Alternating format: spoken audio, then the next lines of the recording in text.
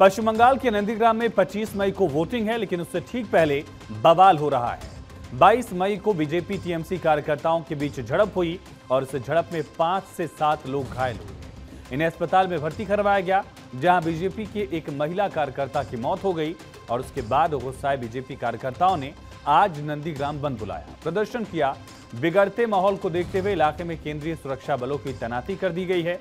मामले को लेकर बीजेपी टीएमसी में आरोप प्रत्यारोप का दौर भी जारी है। और इसी पर आज करेंगे चर्चा। हमारे साथ कुछ खास मेहमान मौजूद हैं। माधवी अग्रवाल जी प्रवक्ता भारतीय जनता पार्टी से प्रियंका पासवान जी प्रवक्ता कांग्रेस से संजय चक्रवर्ती जी नेता टीएमसी के और सूर्य प्रकाश मैथिल जी राजनीतिक विश्लेषक। आप सभी का बहुत स्वागत है। पहला सवाल संजय जी आपसे ही कि आखिर क्या ऐसा कारण है कि बंगाल में बिना हिंसा के कोई चुनाव नहीं हो पा रहा है? देखिए हिंसा होती नहीं करवाई जाती। और बदनाम बंगाल को किया जाता है जबकि हिंसा हर जगह होती है। अभी देखिए बिहार में भी जो है चुनाव के दौरान हिंसा हुई।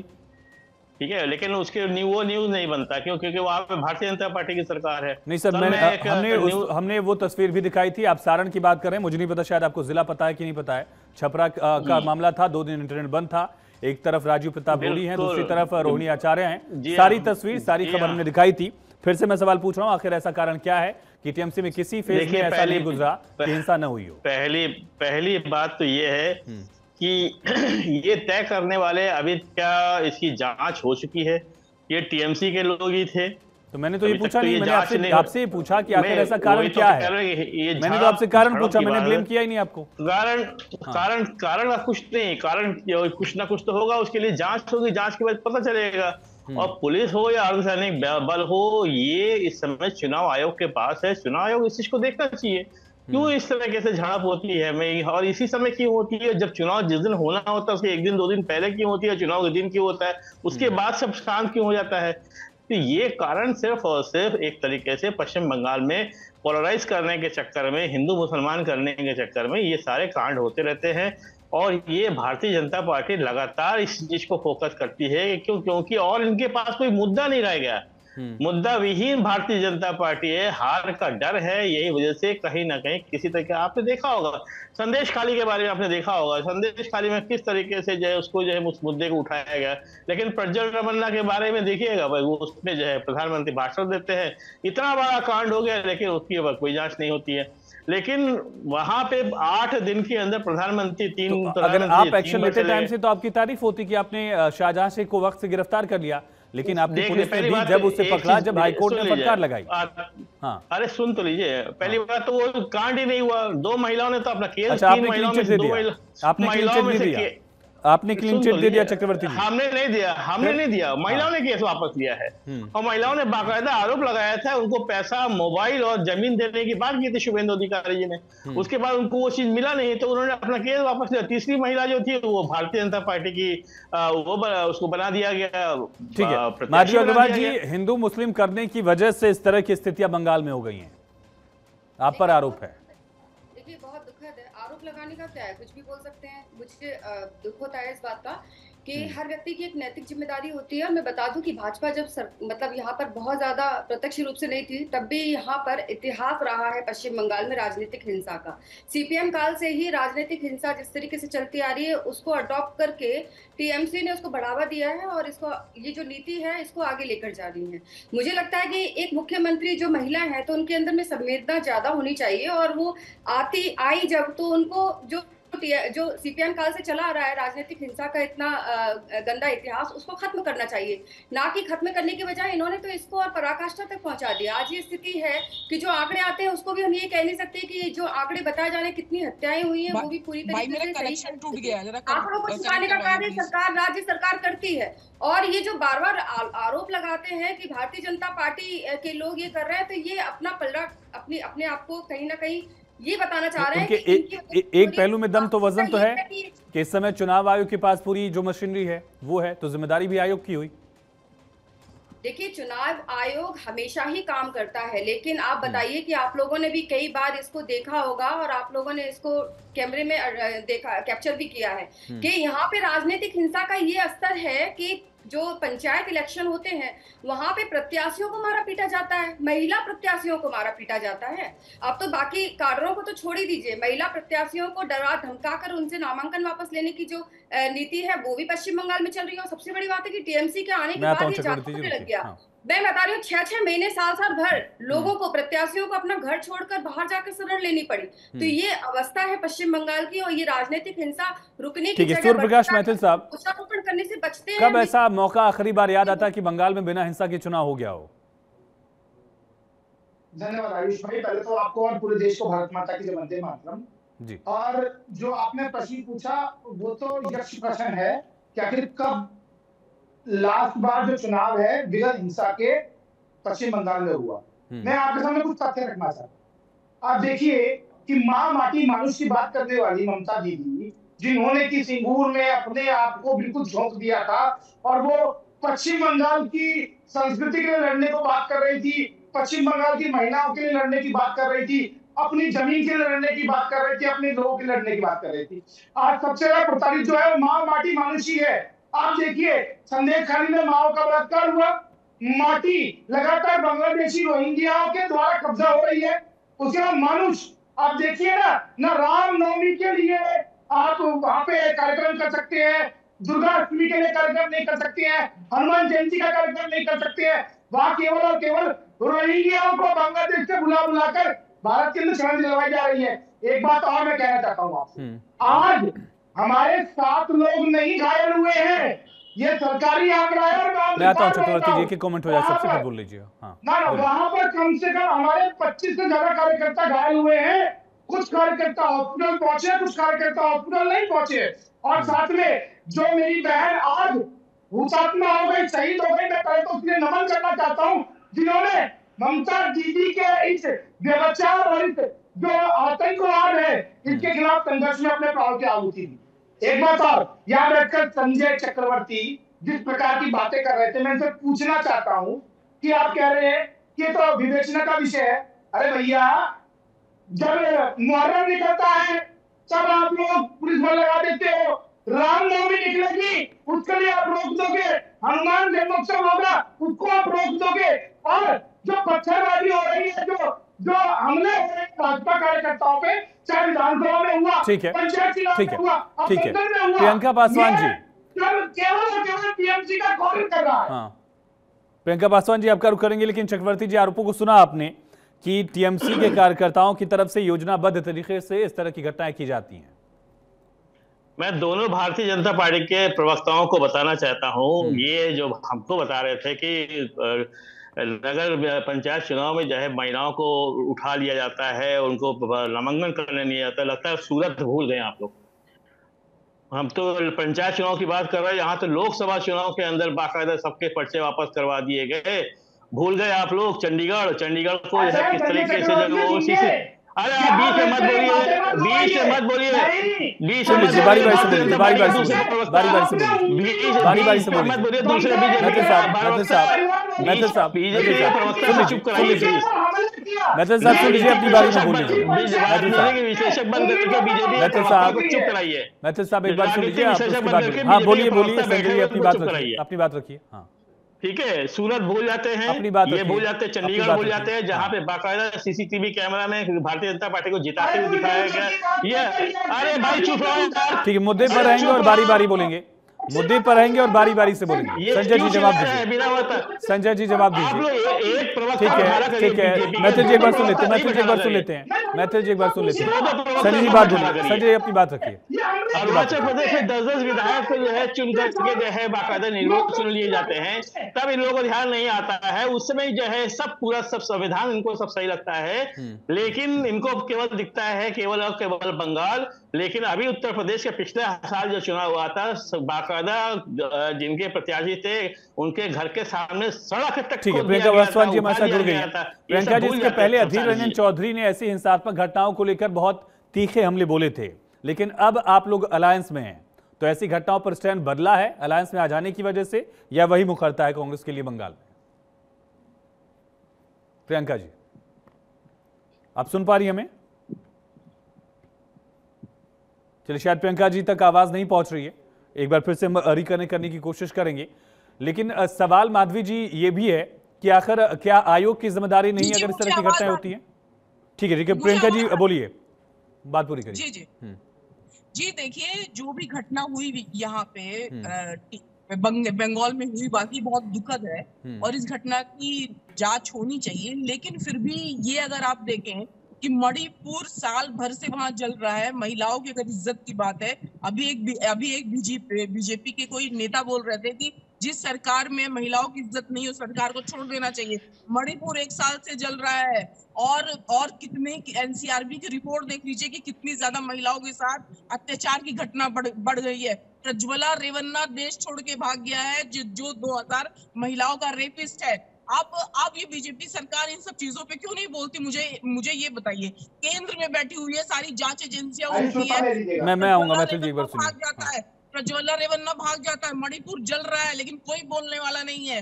ठीक है ये दुखद घटना है जो बीजेपी के साथ घटना हुई और टीएमसी के साथ घटना हुई दुखद घटना है लेकिन इसमें ऐसा नहीं है कि टीएमसी वाले भी को, को कोई चोट नहीं आई होगी। लेकिन ये चीज़ें ना न्यूज़पेपर में ना कहीं पे भी है। सिर्फ़ सीधा सीधा ये लोग विपक्ष को विपक्ष को ही निशाना बनाते हैं। और सीधी बात ये लोग क्यों नहीं बोलते? देश देश की समस्याएँ इनके हाथ से बाहर जा चुकी हैं। ये लोग कुछ भी नहीं तो कर बंगाल पा रहे बंगाल में तो विपक्ष में आप भी हैं बीजेपी भी है और बंगाल में सत्ता टीएमसी के पास है। अगर विपक्ष वाला फैक्टर है तो बंगाल में तो परिस्थिति अलग हो जाती प्रियंका जी। देखिए यहाँ यहाँ महिलाओं की मैं बात कर रही हूँ। गठबंधन में हो नहीं हो सब सारी नहीं मैं पूरी हिंसा की बात कर रहा हूँ। इलेक्शन फ़ेज़ में जो भी बंगाल में चुनाव दर चुनाव हिंसा देखी गई है आखिर उसका कारण क्या है? देखिए हिंसा अगर इलेक्शन में हुई है मैं बोल रही हूँ इसकी जाँच होनी चाहिए और निष्पक्ष जाँच होनी चाहिए। लेकिन फिर भी वहाँ महिला महिला सुरक्षा की बात है कि जहाँ पे महिलाएँ सुरक्षित अगर नहीं है तो हम्म। मणिपुर में एक बार भी नहीं गए। एक बार भी प्रधानमंत्री जी जवाब दीजिए। मणिपुर का मुद्दा रेवन्ना का मुद्दा अगर महिला सुरक्षा की बात हो हालाँकि ये पूरा इलेक्शन प्रोसेस को लेकर सवाल है लेकिन इसका एक पर्सपेक्टिव ठीक है ठीक है प्रियंका जी अब सुनिए हाँ आयुष जी बड़े अफसोस की बात है कि उस पार्टी की जो है कार्यकर्ता है जिसमें बोला जाता है कि लड़की हूँ लड़ सकती हूँ लेकिन कहाँ लड़ सकती हूँ केवल उन राज्यों में लड़ सकती हूँ जहाँ उनकी सरकार नहीं हो उनकी सरकार साथ है हाँ। वहाँ पर अगर लड़कियों महिलाओं के साथ कुछ होता है तो वहाँ पे लड़की लड़ने के लायक नहीं रहती हम्म। दूसरी बात मैं कह लू कह दू की मणिपुर आज से नहीं वर्षों से जब कांग्रेस की सरकार इतने सालों तक केंद्र में थी और वहाँ पर भी थी तब भी मणिपुर में सिविल वॉर लगातार चलता रहा तब आप लोगों को नहीं याद आती थी? तब तो मनमोहन जी कान में तेल डालकर बैठ जाते थे और बार बार जो है वहाँ पर संविधान जो है लागू करने की कोशिश करते थे कि भाई बार बार वो चेंज कर दिया जाएगा। लेकिन अभी अगर मैं यहाँ पर कहूँ एक सेकंड दूसरी बात यहाँ पर कि महिलाओं के लिए संदेश खाली वाला मामला हो जाता है तो लड़की लड़ने के लायक नहीं लेकिन जब प्रज्वल ने जो है 2000 महिलाओं का आप मुझे बताइए ठीक है बारी बारी से बोले थे प्रियंका जी बारी बारी से। प्रियंका जी ठीक है सुन लीजिए सुन लीजिए सुन लीजिए फिर काउंटर कर लीजिएगा सुन लीजिए एक दिन में दस दिन में एक महीने में राहुल गांधी इस चीज़ का जवाब देंगे। आप लोग क्या आपके प्रशासन को इतना भी ज्ञात नहीं था कि वहाँ पर किस का हस्तक्षेप चल रहा है महिलाओं के साथ में। तब आपकी जो महिला लड़की वो लड़की कहाँ पर गायब हो चुकी थी जरा बता दीजिए। लेकिन आप लोग लेकिन आप लोगों को इलेक्शन के टाइम आप लोगों ने महँगाई की बात की ना बेरोजगारी की बात की ना शिक्षा पे बात की ना महँगाई पे बात ऐसे ऐसे बात क्लियर नहीं होगी कि आप लोग किस मुद्दे पर बात करें रहे हैं नॉइज़ ज़्यादा हो जा रहा है। लेकिन चक्रवर्ती साहब आखिर ऐसा क्या कारण है और अगर विवेचना की बात है तो अब तक विवेचनाओं का नतीजा कहाँ तक पहुँचा? हर इलेक्शन की बात करें। विधानसभा इलेक्शन पंचायत इलेक्शन हमने देखा और अब लोकसभा में भी यही स्थिति है। बता रहा हूँ कि जो भी स्थितियाँ बनी हुई है पहली बात तो आपको पता होगा कि मुख्यमंत्री के पास इतना अधिकार भी नहीं है। एक वो सवाल मैंने पूछ लिया आपने सुना होगा शायद वो सवाल मैंने पूछा हाँ, बीजेपी से भी पूछा। लेकिन लेकिन कई इलेक्शन ऐसे थे जहाँ पर अधिकार राज्य सरकार के पास होता है। मसलन पंचायत चुनाव। ऐसा नहीं कि एक ही चुनाव में हुआ। हाँ। नहीं नहीं मैं हाँ। बिल्कुल सही बात बता रहे हैं लेकिन ये मुद्दों को किस तरीके से करूँ मैंने सिर्फ़ संदेश खाली का ज़िक्र किया लोग नहीं करते हैं मैंने ज़िक्र किया कि हम्म। वहाँ पे जो हुआ नहीं उसको जो है प्रोजेक्ट करके उसको आगे बढ़ाया गया ये तो जाँच होगी और कोर्ट तय करेगा कि क्या हुआ क्या नहीं हुआ इस पर हम निष्कर्ष पर क्यों जाए। अब मैं आता हूँ मैं जब प्रज्वल रोमन्ना की बात करते हैं तो प्रज्वल रोमन्ना देखो एक दिन में इतने सारे रेप नहीं किए होंगे। और देखिए इस, इस, इस पर इस पर सवाल हो गया है इस पर जवाब हो गया है। वापस मुद्दे पर आते हैं। मेरा जो सवाल था आखिर ऐसा ट्रेंड क्यों है? बंगाल की सियासत में ये जो लाल रंग है वो खून का रंग लाल क्यों है? सियासत में? मैं वहाँ पे आता हूँ मैं उसे बात करता हूँ। मैं सिर्फ़ प्रज्वल रमना पे एक बात और कह देना प्रज्वल रमना पर बोला? कि एक, एक, एक, जी ने बोला? मैंने नहीं बोला सवाल पूछ लिया। अभी बोल रहा हूँ केवल एक बात बोल रहा हूँ कि एक सांसद बिना केंद्रीय सरकार के परमिशन के वो देश नहीं छोड़ सकता तो वो देश कैसे छोड़ करके चला गया? ये एक बहुत बड़ा प्रश्न है। ये महुआ मोहित्रा से आपने पूछा था जब वो दुबई गई थी बिना बताए? महुआ मोहित्रा बिल्कुल जब जब भी तो यार अलग अलग मुद्दा हो जाएगा इसलिए मैं नहीं जा रहा था। नहीं सरकार मैथिल साहब जवाब दीजिए। मैथिल साहब जवाब दीजिए। जब भी कोई जाँच हो रही है अधिकार सरकार के पास नहीं है चुनाव आयोग के पास शक्तियाँ हैं। मैथिल साहब राज्य सरकार की जवाबदेही कैसे तय होगी अगर अधिकार आयोग के पास है? बारी बारी से बारी बारी से बोलेंगे। मैथिल साहब बोलिए। देखिए कुछ तो मजबूरियाँ रही होंगी ऐसे ही कोई बेवफा नहीं होता। यहाँ बैठकर प्रियंका पासवान जी जो शब्द। अरे आँसू तो छोड़ो। जो शब्द इनके कांग्रेस के कार्यकर्ताओं को निचंद रूप से हत्या की गई। इन्होंने जो शब्द नहीं बोले यहाँ बैठकर ये टीएमसी के पुण्य पुण्य ला रहे ये जो अपने कार्यकर्ताओं के नर्मदा में बैठकर राजनीति कर रहे गठबंधन की शर्म नहीं चाहिए इन लोगों को। ठीक है मेरे मेरे सवाल का जवाब।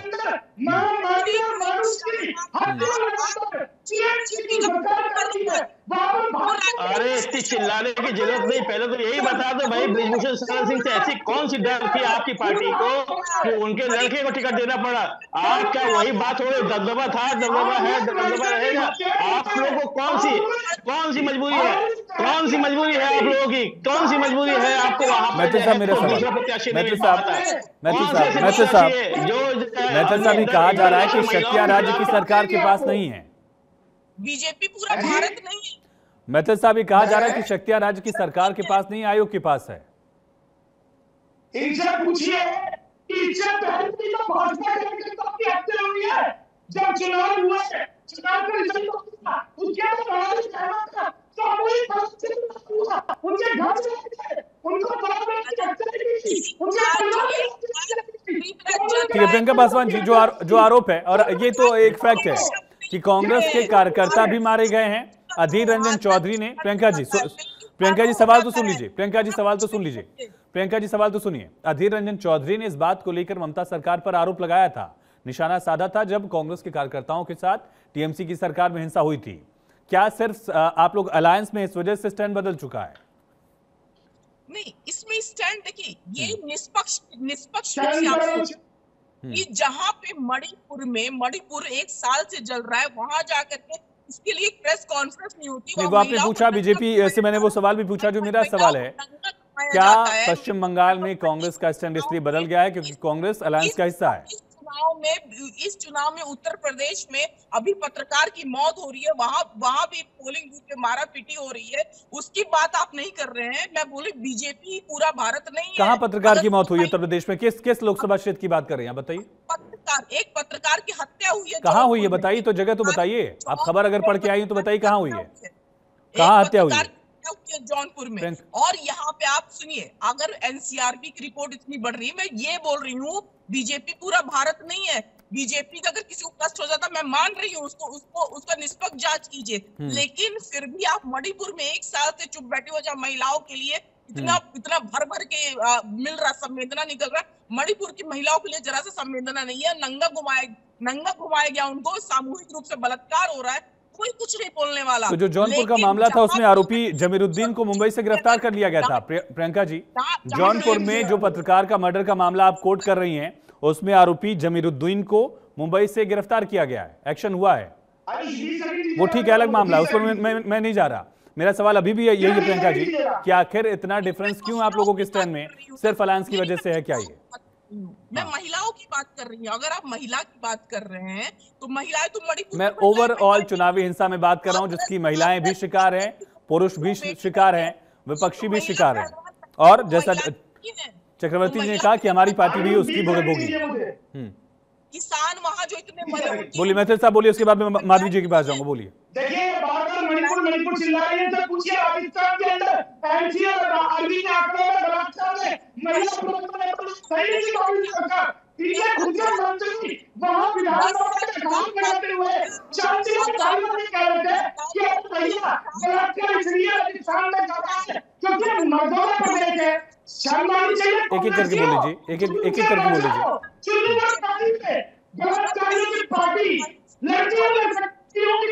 ठीक है, नहीं नहीं, ठीक है। माधवी जी, जो बड़ा सवाल है, क्या ऐसे मुद्दों पर राजनीति की वजह से हिंसा हो रही है या हिंसा के बाद राजनीति हो रही है? देखिए, ये देखिए, बहुत शर्म की बात है कि बार बार ये दूसरे बीजेपी के कंधे पर रख के बंदूक चलाने की कोशिश कर रहे हैं और इससे मुकर रहे हैं कि किस तरीके से हिंसक घटनाएँ वहाँ पे लगातार घटती रहती है। एक जो है, वो महिला और मणिपुर को पकड़ के बैठ गई है, जबकि इनकी पार्टी के खुद ही जो विपक्ष के लीडर है और इनके जो अध्यक्ष है वो हम्म। बोल रहे हैं इसका विरोध कर रहे हैं लेकिन ये अपनी पार्टी लाइन से निकल के कहीं और जाना ही नहीं मतलब बात कर रही है कहीं और ही बात कर रही है इनको ये हम्म। समझना चाहिए कि हम्म। जब राजनीतिक हिंसा होती है तो उसमें महिला पुरुष और पूरा परिवार नष्ट होता है परिवार पे उसका असर पड़ता है पूरे राज्य के माहौल पे असर पड़ता है पश्चिम बंगाल की जो राजनीतिक हिंसा का इतिहास है वो बहुत ही कलंकित है और इसको लगातार टीएमसी के राज में इसको बढ़ाया जा रहा है हिंदू मुस्लिम की राजनीति करने वाली अगर कोई है पूरे देश भर में सबसे ज़्यादा तो कांग्रेस पार्टी है और उनकी अलायंस जो सपोर्टिव पार्टी है संजय चक्रवर्ती जी और ये नंदीग्राम तो वो जगह रही है जहाँ ममता बनर्जी ने ज़मीन पर जाकर आंदोलन शुरू किया था। हालाँकि उनको चुनाव में शिकस्त झेलनी पड़ी क्लोज फाइट में लेकिन इसके बावजूद ये ज़मीन आंदोलन की रही है। अगर आंदोलन की ज़मीन में भी हिंसा का रंग दिखेगा खून का रंग दिखेगा तो फिर आपकी सरकार पर या आपकी काडर पर सवाल तो उठेगा ही। आप सत्ता में तो ये तो फैक्ट है। बड़ी मज़ेदार बड़ी मज़ेदार बात जो है अभी बीजेपी के प्रवक्ता ने बताया कि हिंदू मुसलमान जो है हम लोग करते हैं अरे प्रधानमंत्री खुद करते हैं भाई प्रधानमंत्री खुद कहते हैं जिनके ज़्यादा बच्चे हैं उनको पैसा दे दिया जाएगा उनको जो है भैंस दे दी जाएगी उनको मंगल से तो छीन लेंगे। अभी कल तो बोला है कोटी अरे शांत रहो यार ये बीजेपी के प्रवक्ता को शांत करेंगे राजनीतिक विश्लेषक ये राजनीतिक विश्लेषक का शब्द हटाइए और राजनीतिक विश्लेषक को बदनाम कर रहे हैं लिखिए सीधे सीधे बीजेपी प्रवक्ता है। लिखिए आप अपने आप में बीजेपी के प्रवक्ता है। क्यों जो है क्यों जो है पर्दे के पीछे आकर के बैठते हो आप लोग। पर्दे के पीछे आकर क्यों दूसरों को बदनाम करते हो? राजनीतिक विश्लेषक को बदनाम करते हो? अरे साफ़ साफ़ बोलो मैं बीजेपी का प्रवक्ता हूँ। साफ़ साफ़ बोलो जब बीजेपी का प्रवक्ता हो।